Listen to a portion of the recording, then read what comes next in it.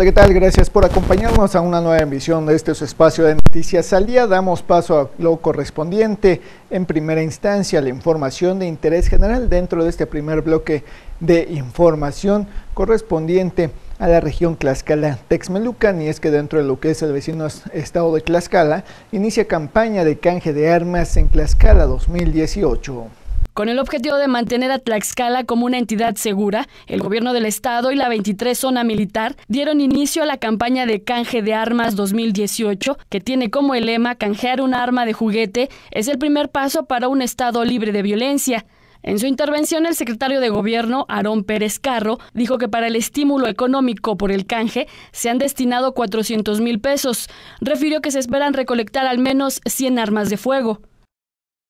Este acto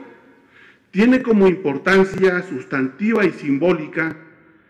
porque reafirma el compromiso de autoridades y ciudadanos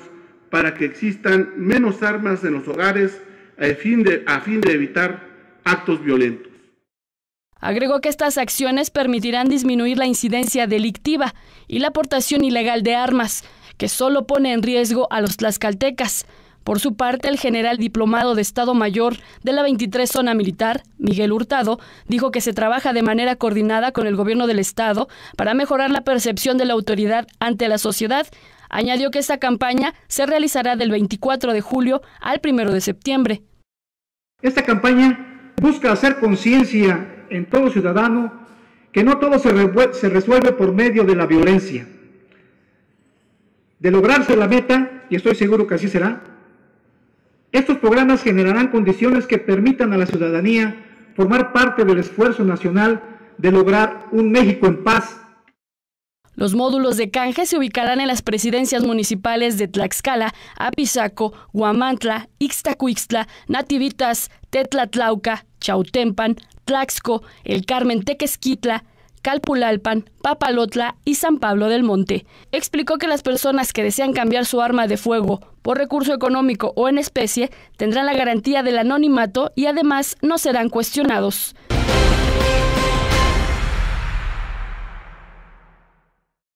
En un tema de lo cultural, 14 exposiciones en museos y centros culturales de Tlaxcala permanecerán durante el periodo vacacional. El Estado, a través del Instituto Tlaxcalteca de la Cultura, invita a disfrutar de las 14 exposiciones temporales para visitar en estas vacaciones y que se presentan en los centros culturales y museos de la entidad. Entre las exposiciones se encuentra la del Museo de Arte de Tlaxcala con el título Es nuestra, es de Tlaxcala donde se muestra una colección de importantes artistas que proyectan las tradiciones y costumbres de la entidad. El Museo de la Plástica de Siderio Hernández Xochitiotzin expone la trayectoria internacional de los artistas tlaxcaltecas Hermenegildo Sosa, Armando Aguazzi, Desiderio Hernández y Teodulo Rómulo. Asimismo, en su sala temporal se encuentra la exposición titulada Pasiones del Alma de Carlos Quiebras. En el Museo Miguel en el Ira se expone la vida y trayectoria de este escritor y dramaturgo tlaxcalteca, también en el Museo de Historia, Arte y Tradiciones de Tlaxco se exhiben las costumbres, personajes y artesanías de la región. En el Museo de Sitio del Centro de las Artes está la exposición permanente sobre la industria textil de Tlaxcala. El Centro Cultural de Contla presenta el acervo del Tebac, una exposición colectiva de creadores de gráfica originarios de Tlaxcala, mientras que el Centro Cultural de Papalotla expone máscaras de carnaval. Para mayor información puede visitar la página de internet culturatlaxcala.com.mx.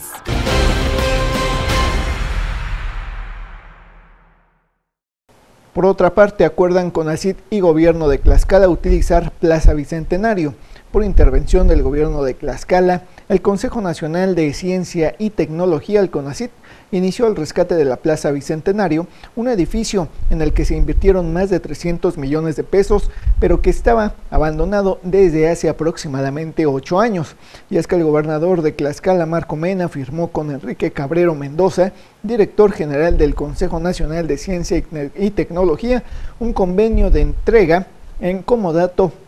al Consorcio de Investigación y de Innovación CICLAX de la polémica Plaza Bicentenario, al fin de respaldar la investigación y la formación de capital humano enfocadas en las principales áreas de desarrollo del Estado, por lo que, mediante dicho acuerdo, permitirá remodelar el edificio en función de los requerimientos de cinco laboratorios de investigación especializada. Y mientras, por otro lado, en lo correspondiente a algunos de los municipios dentro de lo que es aquella misma zona, aprueban 35 policías de Zacatelco curso de primer respondiente. Autoridades municipales de Zacatelco gestionaron la impartición del curso taller denominado primer respondiente en el sistema penal acusatorio, en la que participaron 65 personas, 15 de ellas del área administrativa, de las cuales 35 elementos de seguridad pública aprobaron la evaluación, por lo que las, las, autoridades locales aseguraron que, que con esta capacitación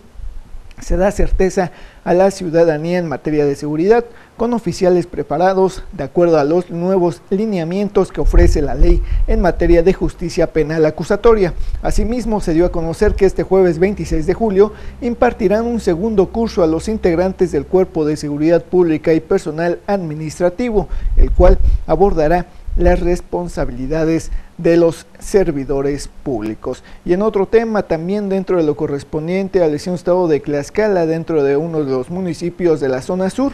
aseguran en Activitas camioneta con más de 3.000 litros de combustible. De forma anónima y, y por medio de una llamada al servicio de emergencia 911, fue reportada la existencia en el municipio de Nativitas de cinco camionetas de 4.5 toneladas, presuntamente con bidones en sus cajas, por lo que los cuerpos de seguridad se coordinaron para corroborar la denuncia montando un operativo de seguridad y dirigirse hacia la zona señalada en donde los conductores y presuntos responsables, al ver la presencia de la policía estatal y municipal,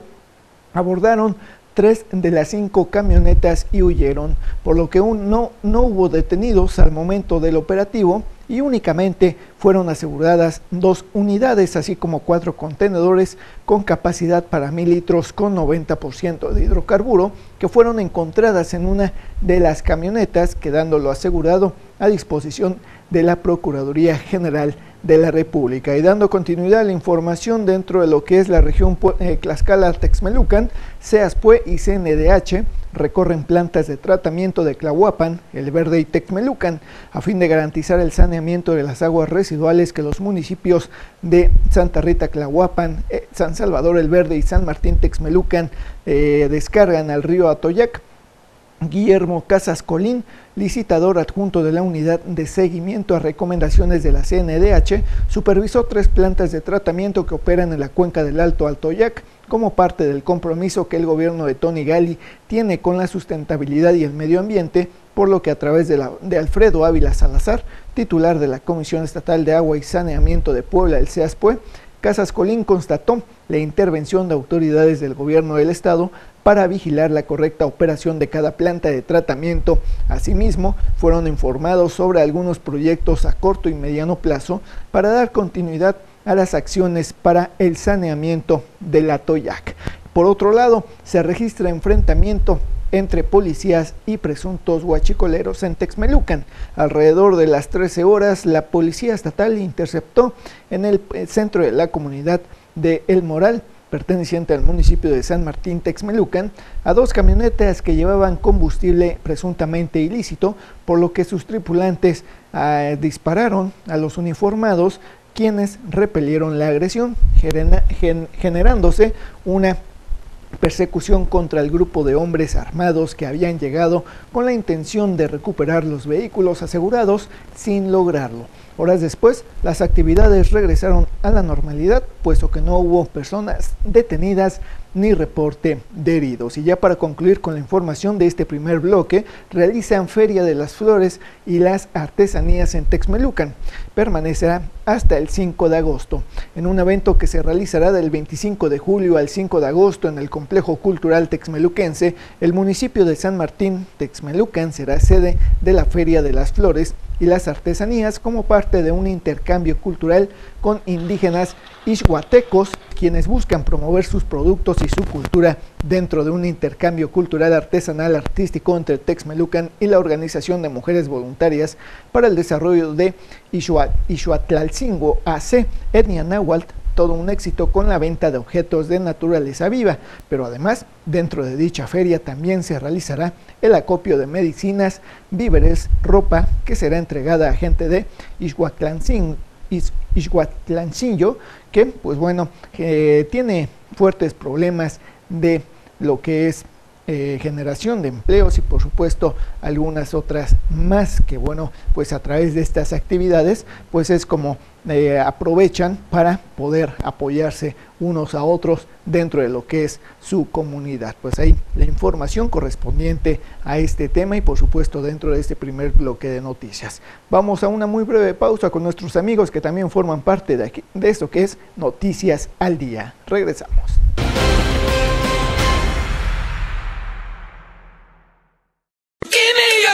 Farmacia Vita Pharma 2 le ofrece todo tipo de medicamento de patente, genérico y similar, además de lácteos y una gran variedad en artículos de perfumería. Contamos con descuentos del 30 al 50% y un descuento especial a personas con credencial del INAPAM. Farmacia Vita Pharma 2 le sigue atendiendo en Plaza Principal, lado sur número 201, Colonia Centro en Huejotzingo, en un horario de 8 de la mañana a 10.30 de la noche. Servicio a domicilio al 27 6 16 23. Farmacia Vita Farma 2. Silva, estudio de belleza y uñas.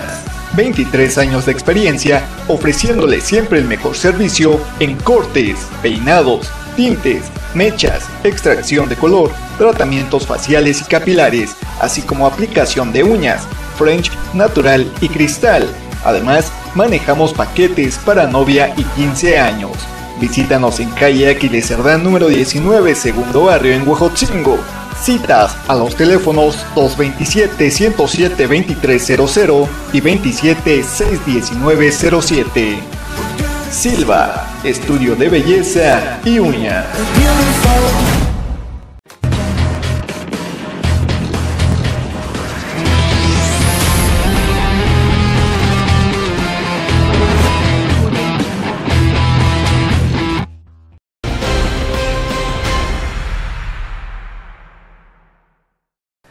Muy bien, pues le damos continuidad a la información a este segundo bloque de noticias dentro de lo correspondiente al octavo distrito y por supuesto también con la información de interés general del Estado. Alrededor de las 20 horas, personal de petróleos mexicanos, Pemex y elementos del cuerpo de bomberos ubicaron una toma clandestina que originó un derrame en San Francisco Ococlán, junto auxiliar del municipio de Coronango. Los hechos se generaron en un predio que se ubica en la calle agropecuaria a un costado de la autopista México-Puebla, donde se encontraba una manguera conectada a un ducto de la paraestatal con la que se sustraía el diésel aproximadamente en una excavación de 40 centímetros de profundidad y aunque en el lugar no se encontró a ninguna persona, la toma clandestina fue resguardada por el personal de Pemex quienes procedieron a sellarla para evitar cualquier incidente mayor. En otro de los municipios correspondientes al octavo distrito dentro de lo que es Puebla, originaria de Xoxtla, participa en compañía de danza que representa a México eh, en Suiza. Con gran éxito, Inició el Festival Basel Tattoo 2018 en Suiza con un primer espectáculo donde los asistentes pudieron disfrutar de la cultura y danzas de los distintos países invitados, entre ellos la compañía de danza que forma parte de la Banda Monumental de México, conformada por más de 100 integrantes y en la que participa Stephanie Alvarado Ortiz, vecina de San Miguel Xoxtla, en este gran festival internacional que vendió más de 65 mil entradas para disfrutar del espectáculo donde también participa participan distintos artistas de talla internacional. Y pues bueno, de esta, eh, entre otras, algunos, eh, algunos otros grupos acompañados por esta compañía de danza folclórica que representó a México en aquel festival en Suiza. En otra de las notas, exigen pobladores concluir trabajos de repavimentación en calle 5 de Mayo en Cuanalá. Pobladores de Cuanalá en el municipio de Juan Cebunilla mediante lonas colocadas sobre la calle 5 de Mayo de aquella localidad se inconformaron contra el alcalde Filemón Aguilar Rodríguez, a quien acusan de abandonar una obra de repavimentación que desde mayo no representa ningún avance, pues señalan que únicamente se levantó el,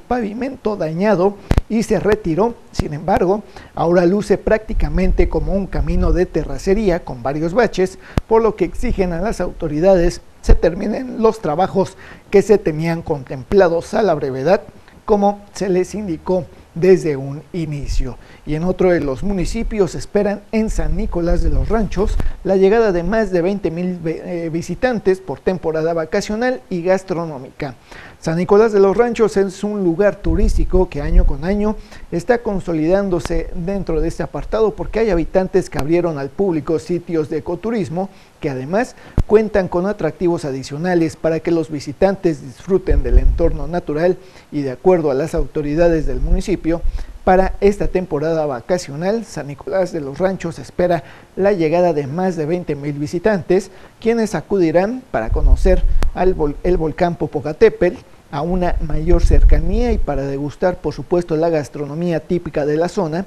que se concentra en la vendimia principalmente del chile en nogada, así como antojitos típicos, frutos, artesanías y comida alrededor del kiosco de la cabecera municipal. Pasando a otra más de las notas preparadas para este día, Festival del Pipián 2018 en Huejotzingo contó